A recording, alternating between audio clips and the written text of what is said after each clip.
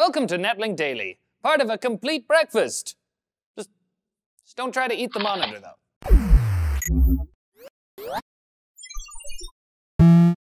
Asus Z97 ROG motherboards translate bleeding edge technology and unsurpassed gaming power. Asus Z97 ROG Maximus motherboards, the best of the best.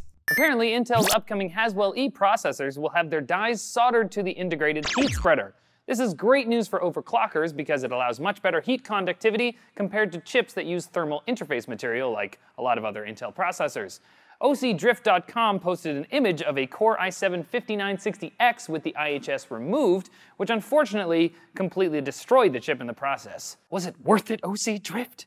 You sick bastards. Haswell E is expected to launch in September. NVIDIA's research division has found a way to quadruple screen resolution by stacking LCD panels. The method works by placing a panel in front of another one and slightly offsetting it, creating four sub-pixel fragments per regular pixel.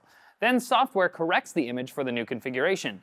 Because this is a potentially very cheap way to create small, high-resolution displays, NVIDIA seems to be aiming to use this technology in head-mounted displays like the Oculus Rift, where issues like a slightly darker image and unloving parents are less of a problem. In other NVIDIA news, engineers Rev Lebaredian, I think that's how you say it, and Tom Petersen said in an interview that NVIDIA would not support Mantle as it doesn't add any new features and DirectX 12 will have low-level API access anyways. What? That's crazy! Why wouldn't they do that? Said no one ever. A 13-year-old girl had a rude awakening last week when her Samsung Galaxy S4 caught fire under her pillow. Culprit may have been a low-quality third-party replacement battery, although Samsung does warn that covering the device with bedding or other materials that significantly affect airflow poses a possible risk of fire or explosion. But the company's being the good guy and replacing the girl's device and bedding anyway.